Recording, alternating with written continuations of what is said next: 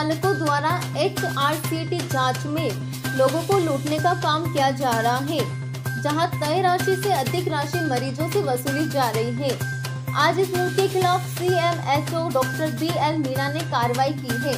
Doctor Meena से मिली जानकारी के अनुसार पॉलिटेक्निक कॉलेज के सामने स्थित mark imaging diagnostic lab में छापा मारते हुए एच आर सी टी की तय राशि से अधिक राशि वसूलते हुए पकड़ा है। उन्होंने बताया कि राज्य सरकार ने स्पष्ट रूप से सभी निजी जांचकर्ताओं के लिए एचआरसीटी की जाँच की राशि सत्रह सौ रूपए तय कर रही है। फिर यहाँ मरीजों से जाँच के पैंतीस सौ रूपए लिए जा रहे थे। उन्होंने बताया कि इस लैब को सीज करने की कार्यवाही की जाएगी।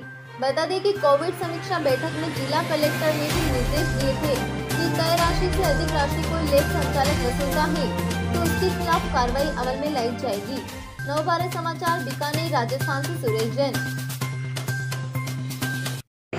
ये कार्रवाई क्या राज्य सरकार के निर्देश है कि जो भी एच आर सी की है, उसकी फिक्स रेट कर रखी राज्य सरकार ने। सत्रह सौ रुपये साढ़े उन्नीस सौ रुपये हमारे प्रशासन के द्वारा एक टीम गठित की गई है। टीम के द्वारा जितने भी लैब हैं, उनकी सघन जाँच की जाएगी। जिसके अंदर जो भी जाँच के अंदर जो दोषी पाया जाएगा, उसको सब कार्रवाई की जाती है। तो हमने पहले स्टार्टिंग के अंदर बोथरा लैब के अंदर किया।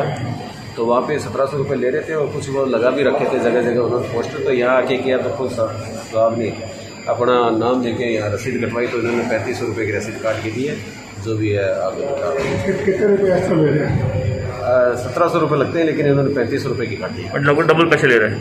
तो हाँ, बस इसको सीज किया है। ठीक है। आपने क्या कार्रवाई की थी? अभी आप आए थे रसीद कटाई?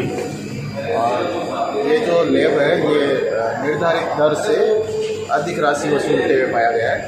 कौन सी लेब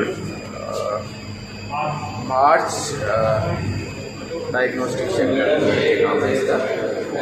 तो हमने आके और यहाँ पे पहले एच आर सी टी करानी है और रसीद बना दीजिए तो इन्होंने रसीद बनाई और जिसमें दुगुनी राशि वसूल कर रहे थे और इसलिए इसको सीज करने की कार्रवाई की जा रही है प्रशासन द्वारा। मैं Gopal Birda additional director S C M रिकवा